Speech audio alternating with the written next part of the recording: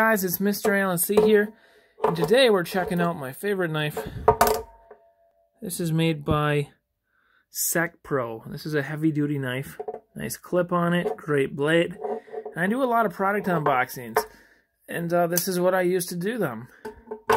So check it out.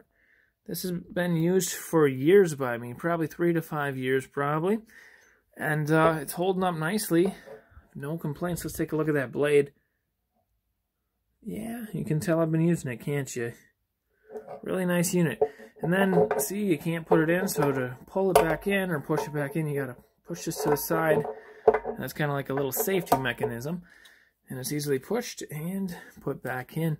Hope you guys enjoyed this review of the Secpro knife. I'll see you next time. Don't forget to like the video. Bye-bye.